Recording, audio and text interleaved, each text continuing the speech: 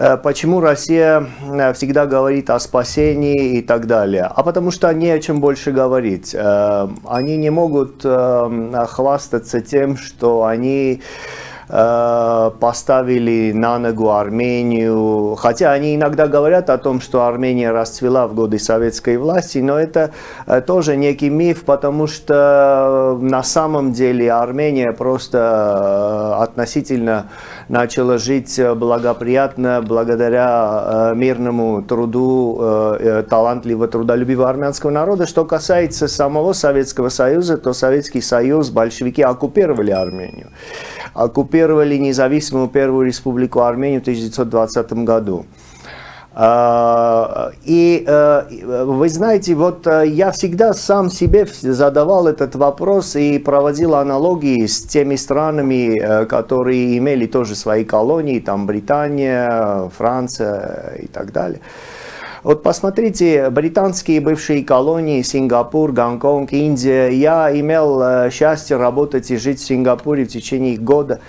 Они никогда не высказывались плохо об Англии, э, о своей бывшей метрополии, потому что они действительно э, расцвели э, благодаря Англии. Сегодня Сингапур одна из ведущих стран. Они никогда не видели унижения со стороны англичан и так далее. То же самое можно сказать об Индии, об Гонконге. Может, Индия немного отличается в этом отношении.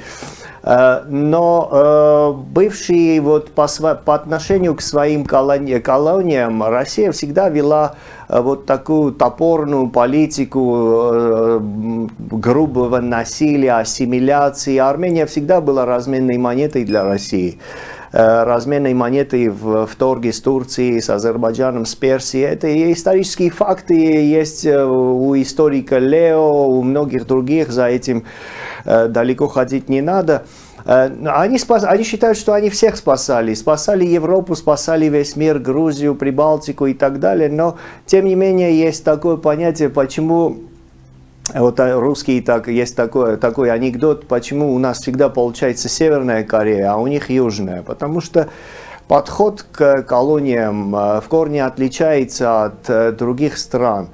И я думаю, в этом суть вопроса. Я бы, например, если бы э, был на, на месте российских царей или э, генсеков советских, советских времен, я бы использовал Армению как свой форпост э, на, на этом пространстве, незав... дал, дал бы ей полный независимость, суверенитет, поощрял бы ее расцвет, э, богатство, точно так же, как делает, например, Соединенные Штаты со своими партнерами, не сказать колониями, но партнерами, союзниками.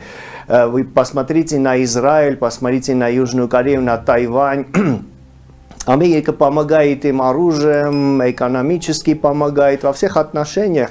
И это делает только Америку сильнее, потому что у нее э, появляются сильные союзники и сильные друзья в любом регионе мира, чего нельзя сказать о России. Так что здесь есть о чем подумать самой России, а от себя добавлю, что Э, мы рады будем, э, национально-демократический полюс э, после прихода к власти в Армении, будем рады установить истинно партнерские союзнические отношения с той властью в России, которая придет на смену нынешнему путинскому режиму. И дай бог, чтобы после Путина Россия была демократическим государством и вела бы равные партнерские отношения по отношению к соседям. Что думаете вы? Пишите в комментариях. Спасибо за просмотр. До новых встреч!